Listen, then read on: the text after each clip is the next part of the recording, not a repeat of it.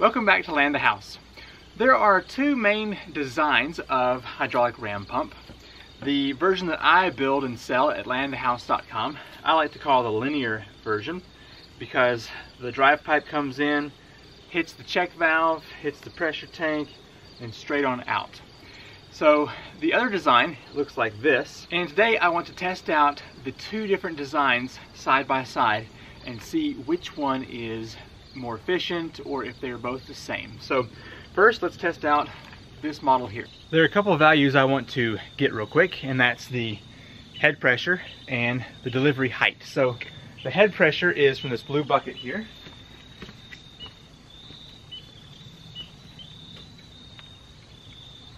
I'm gonna guess total about three feet.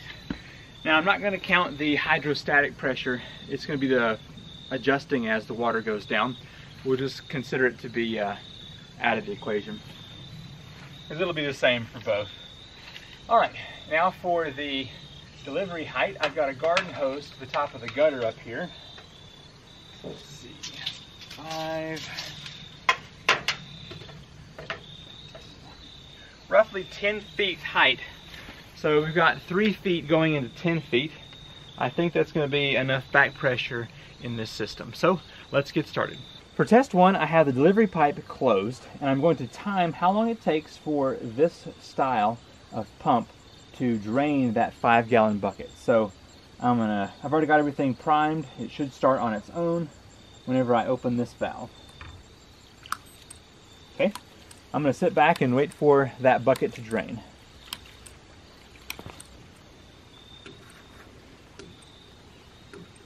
Okay, at 340, I heard it pull its first air, so we'll consider it to be 340. That's 3 minutes and 40 seconds. So, the next test, I want to open up the delivery pipe and just get a value on how long it takes to fill a water cup. That way it will have an efficiency uh, number, basically. This is the garden hose delivery pipe, and I'm going to use this bucket with tape to see how long it takes for this water to reach the bottom of this. So let me go start the pump real quick. My bucket is full and we'll see what we get. Okay, here we go.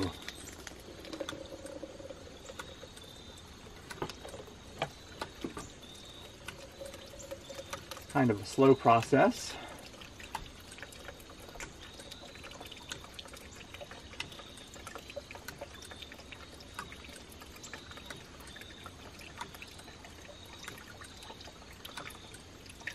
22 seconds. Not bad. On this pump, the drive pipe comes in through the bottom, just like the previous version. Then it will, the water will continue through and hit the check valve on this side over here. When a pressure wave happens, it'll come back up into the pressure tank and then out the delivery pipe here. Just like with the other pump, I have my bucket full. I have the delivery pipe closed and I want to time how long it takes to empty that five gallons. So I'm gonna crank this open and it's already primed so it should start right away.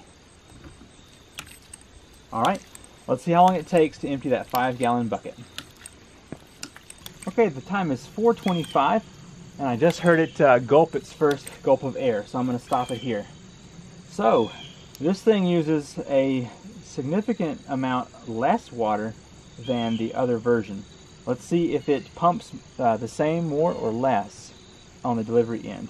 Just like before, I'm going to start the pump and then time how long it takes the water to get to this point right here.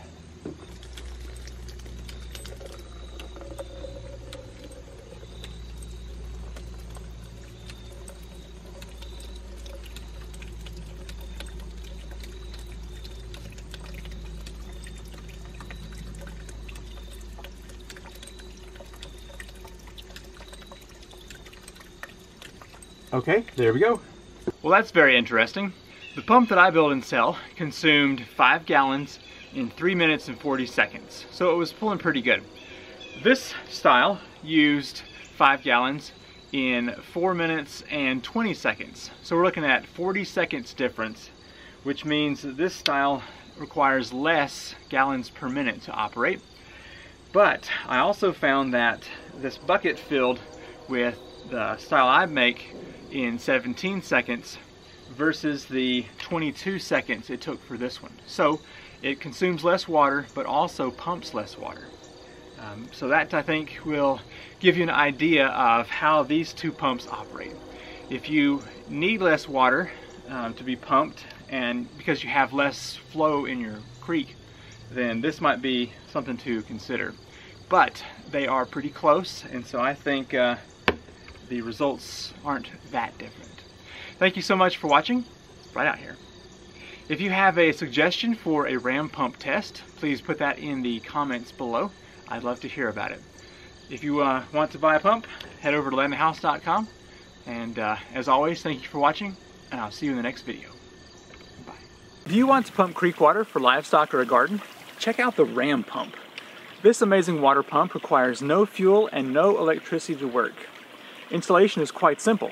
Just place the pump in the creek, run a drive pipe to bring water to the pump, and install a delivery pipe to take water uphill. To start the pump, simply push this check valve down and it will begin on its own, running seven days a week, 365 days a year. To learn more about the Ram pump, go to my website, landtohouse.com. I have four different size models for sale and lots of information. Now, if the Ram pump is not your thing, check out my YouTube channel, Land to House, where I have lots more content for you to enjoy.